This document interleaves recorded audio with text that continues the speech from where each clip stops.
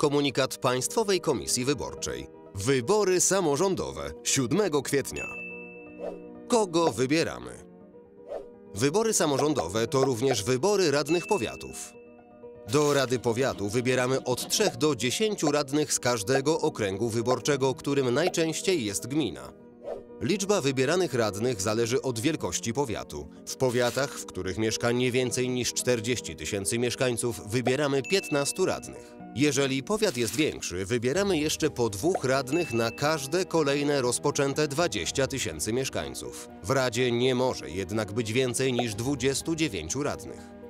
Mandaty otrzymują tylko te komitety wyborcze, na których listy głosowało co najmniej 5% wyborców w danym powiecie. Wybory do rad powiatów są proporcjonalne. W całym kraju do 314 rad powiatów jest wybieranych około 6300 radnych.